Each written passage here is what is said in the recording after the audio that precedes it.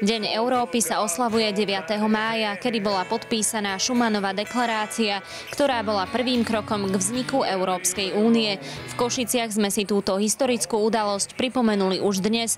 Košický deň Európy sa uskutočnil po tretí krát a určený bol najmä košickým stredoškolákom. Spolupracujeme s maďarským gymnázium, francúzským, anglickým, španielským, nemeckým. Takisto tu máme dievčatá zo strednej odbornej školy odevnej, ktoré nám tu robia modnú prehliadku ako spestrenie programu. Takisto sa zúčastňuje aj psychosociálne centrum. Tento deň je vlastne venovaný len pre študentov a je to ten náš Košický deň Európy. Do programu Košického dňa Európy sa zapojili aj materské školy. Asi 1500 škôlkarov maľovalo kriedami na asfalt pozdĺž celej hlavnej ulice. V podzemí Dolnej brány prebiehala prezentácia stredných škôl, na ktorých sa vyučujú cudzie jazyky.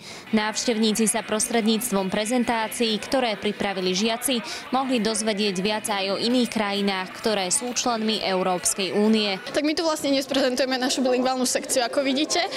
Takisto vlastne kultúra a niečo z kuchyne. Vidíte tu rôzne syry, bagety, všetko, čo je vlastne pre Francúzov také typické. Máme tu, ja neviem, napríklad slané maslo, čo je taká malá špecialita. A všeobecne aj vlastne francúzskú kultúru, umenie a všetko, čo k našej škole patrí.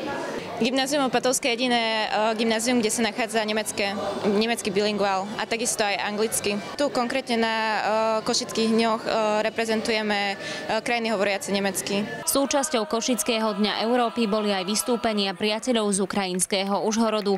Deň Európy si v Košiciach pripomenieme aj 9. mája, kedy tento deň oslávia všetky členské štáty Európskej únie. Anna Činčárová, Televízia Naša.